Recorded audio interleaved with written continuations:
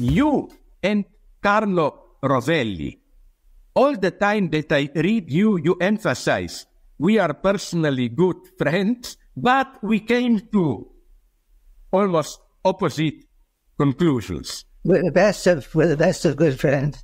I'll ignore the occasional, you know, smoking LSD with my cats um, genre and this stuff, and take them very very seriously.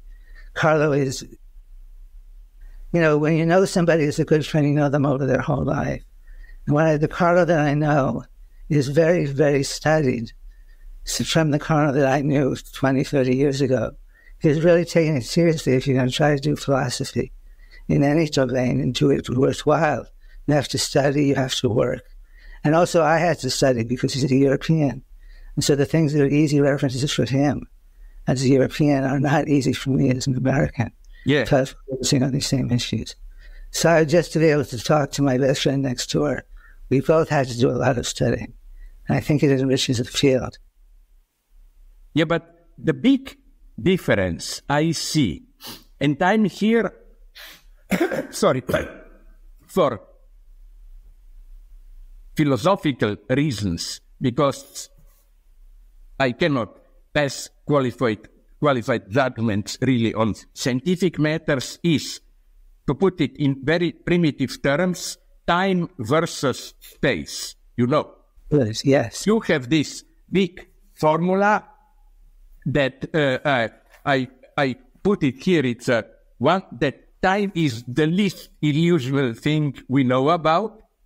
And although Carlo tries to undermine, show that neither time nor space is basic, but I think he is more leaning if Carlo were to choose as a gu- at a gunpoint, time or space, he would have chosen space as more fundamental. His idea, big, is that it's a famous sequence. You not, you must know it.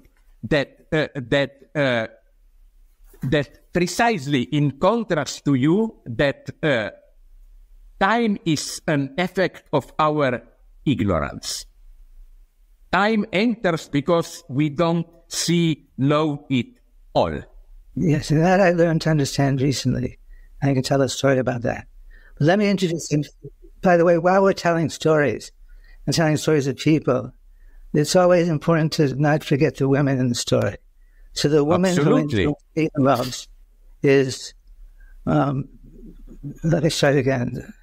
The, the person whose name I was looking for a minute ago was Fotini Markopoulou, which is embarrassing. I should have pass her name. But anyway, she's the person who first convinced me that space has to emerge so time doesn't have to, and things like that.